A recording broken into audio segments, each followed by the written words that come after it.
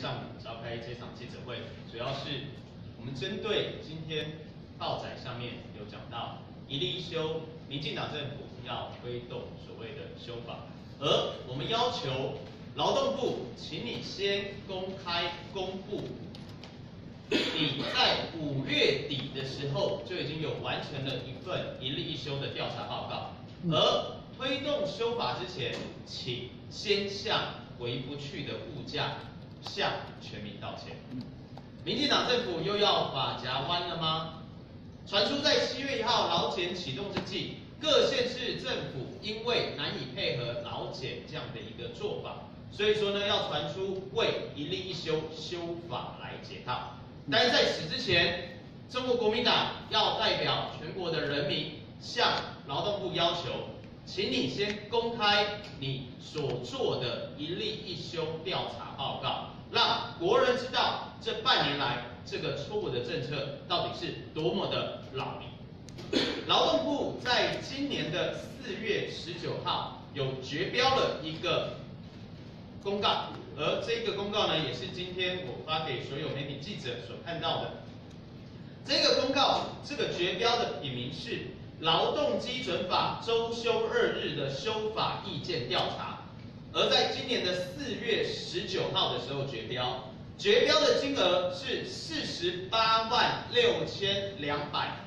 元，四十八万将近五十万的一个纳税人的费用。所做的调查就是劳动部要求针对劳动基准法周休二日修法，也就是我们所谓俗称的一例一休。我们就说，在今年到从一月到六月开始，几乎所有各大的媒体都有做相关的民意调查、相关的资料、相关的会诊，政府听不进去、听不到、听不清。没关系，你执意要花纳税人的钱来做这样的一个调查。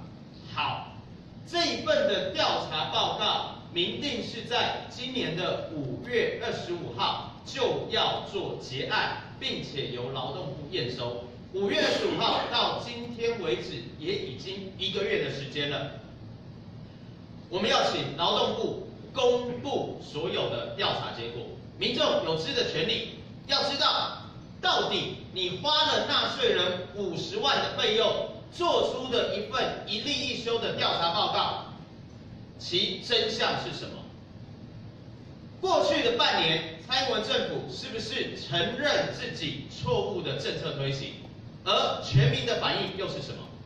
千万不要因为官方自己做调查，自我打脸，就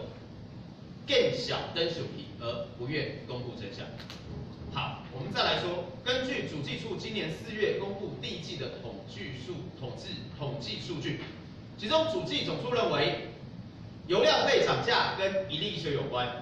外食费年涨一点九六趴，将近两 percent 的费用，也创下近二十二个月以来的新高。这些物价上涨，买单的是全民，受害的是消费者。在传出要在修法之际，蔡英文政府，你难道不应该先向国人道歉吗？民进党团，你难道不应该为去年的一分银事件道歉吗？而蔡英文总统，你难道不应该为去年所下达的军令状道歉吗？消费者其实非常的无奈，因为已经调涨的物价，难道会因为修法而调降回来吗？所以追根究底，一例一休就是蔡政府扰民伤财的错误政策。既然七月起各地政府都无法依法配合劳检，台湾是法治的国家，绝对不可不遵守法律。是以以一例一修最现在就是最重要的修法。立法院还有第二次临时会、第三次临时会，